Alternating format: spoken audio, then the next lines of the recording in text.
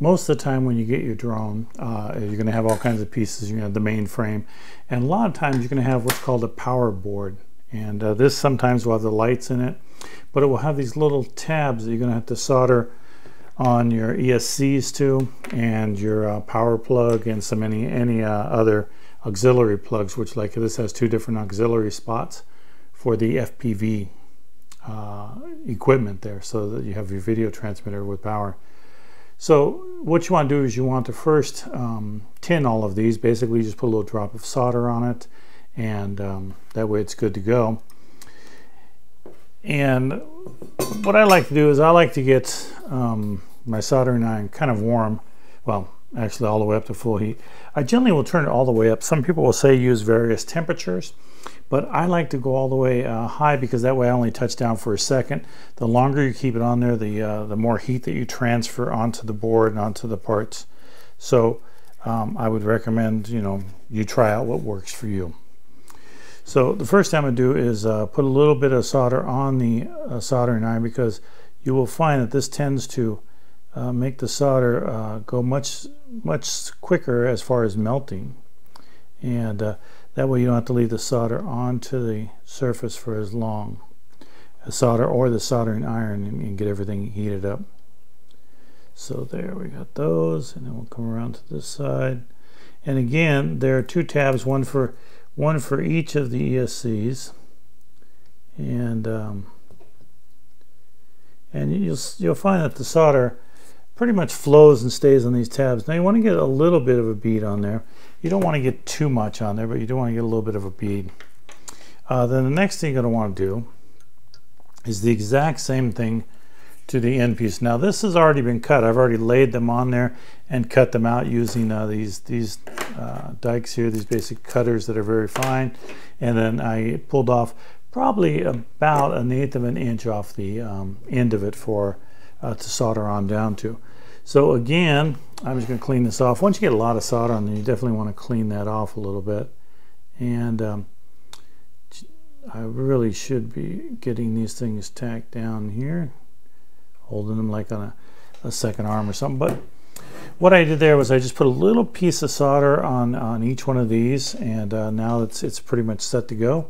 So um, you want to put this down and basically just like that and boom, it's, it's on there and I'm going to do the same thing with this one here and press it down.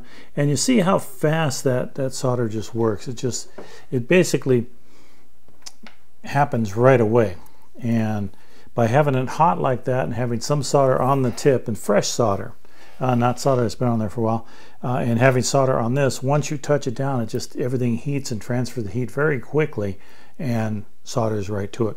And that's the best way uh, for doing the solder, for soldering onto a board like this. So what I will do is I will tin this one up too and get this one ready. And again, a little bit of solder on the soldering iron onto the ESC wires. And um, that way, that just happens real quick. There's not a lot of heat transferred. I mean, you're still going to get some heat. There's no, there's no way you're going to avoid heat and I accidentally moved that one a little bit probably wouldn't hurt it but I like to get them dead center if possible. And uh, you can tell when your when your joints are done well uh, they will be there'll be this nice shiny little droplet of solder right there. And um, so those look good. I'm gonna turn this around to this side now and get these set up here. And again I'm to go ahead and tin this and I'll probably um, cut you know so that you don't have to watch the whole process here and get this moving a little quicker for you. But again make sure that you're, you're soldering um, you know the ones the right ones are going like see this one is cut for this side and you notice that one's upside down one's right side up so that my positive the red always goes to the plus and the negative is um, oops my mistake There it is. So I got to figure out which one goes where.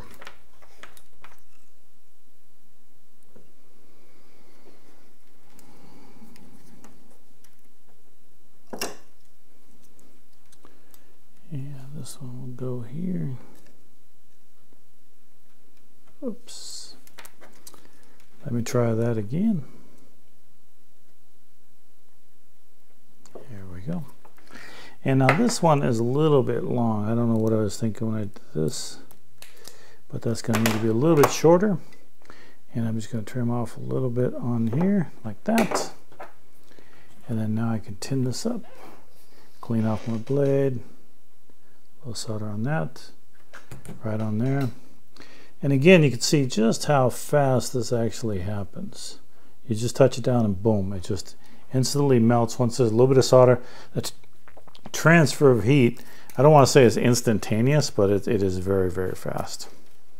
So now we'll move these guys out of the way here. So now we can put our battery in. Our battery already has um, some solder on it, but you know, I'm going to put a little bit more only because I like fresh solder on there. Um, and when they come already pre-soldered, uh, you don't really know what solder that is. And if it has the rosin core, if it's, uh, you know, has already the flux built into it. So uh, you want to put your own on there. And again, now this one takes a little bit longer only because it's a much bigger wire. So it takes a second and also takes a second for it to cool down too. And I'm to add a little bit more heat on that one. And there we go. And there it is. You can see that when you have everything ready, uh, you can get your board together relatively quick here. And um, everything's still a little bit warm, so I'm not going to push it all down. But uh, now you're going to be able to put these all down. You're going to be able to mount this on and uh, set up your motors. And then you're going to solder your motors onto all these little tabs right here. And that's basically uh, introduction to soldering onto the power board.